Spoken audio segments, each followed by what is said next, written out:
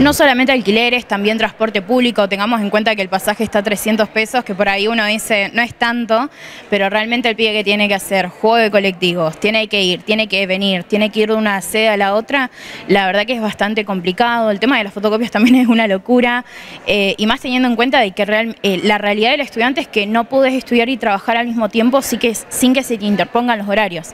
Realmente es muy complicado para ser eh, estudiante y tratar de mantenerte o al menos salir adelante. Yo creo que en tiempos de, caos hay que lograr tranquilizar, unificar con más razón, somos todos compañeros.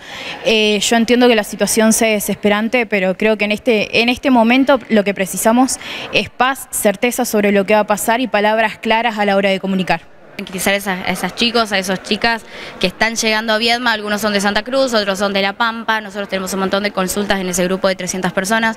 ¿Cómo hacemos para tranquilizarlos? No tenemos la forma, solamente son palabras de, compañeros porque hay que estar acompañándolos, asesorándolos y sobre todo ser personas. Eh, tenemos que estar acompañándolos constantemente nerviosos entre la ansiedad, entre la angustia de ellos, el no me alcanza la plata, no tengo para comprarme una ladera eh, y creo que con esta noticia que dieron... Eh, varios se angustiaron.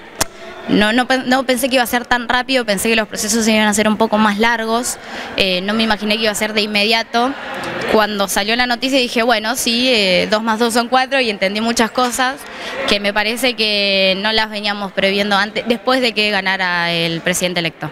Eh, estamos todos así como expectantes de, ver si en, en, mayo cerramos, o sea, no, cada uno se vuelve a su casa o no, entonces es como un quilombito tremendo que hay 100, 100, inocentes por año. Entonces eh, hay muchísima gente que se queda afuera. Eh, son todos pibes que, por ahí vienen de lugares eh, lejanos que les cuesta venir, alquilar, y lo único que hay es, compañerismo entre, entre, entre nosotros porque no hay otra cosa para hacer. No, no, no hay certeza, no hay, no hay respuesta. Trabajar en conjunto porque es lo que creo que es lo mejor que se puede hacer.